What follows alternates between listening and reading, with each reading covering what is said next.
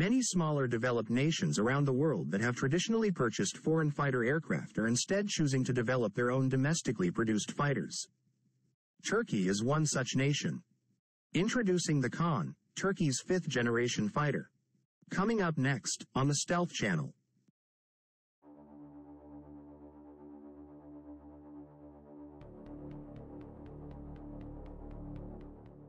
The Kaan is a fifth-generation stealth fighter being developed by Turkish Aerospace Industries, or TAI for short.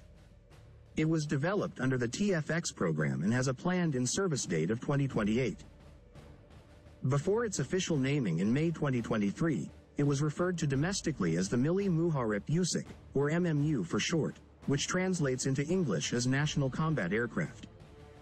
Although development had been underway on a next-generation fighter since 2010, the development accelerated after the United States imposed sanctions on Turkey as a result of its purchase of Russian-made S-400 surface-to-air missile systems in 2017, which the United States considered to be a threat to the F-35.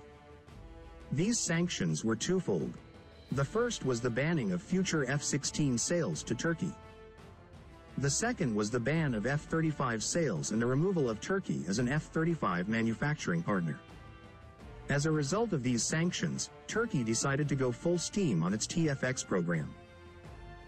Full-scale mock-up of the TFX was displayed at the Paris International Air Show in 2019.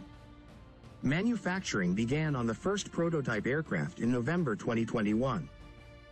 The full-scale mock-up, now redesignated MMU, was displayed at the Singapore Air Show in February 2022.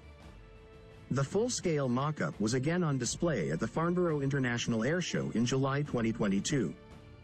On March 16, 2023, the MMU prototype took to the runway powered by its own engines and successfully completed its first taxi tests. On May 1, 2023, the first aircraft was unveiled in a pompous ceremony at TAI facilities in the capital Ankara, with flyovers by Air Force aircraft, large audiences and the participation of Turkish President Recep Tayyip Erdogan. Erdogan officially christened the aircraft, Kaan, and was given a chance to sit in the cockpit. In June 2023, Pakistan indicated its interest in purchasing the Kaan to replace its aging fleet of F-16 fighters.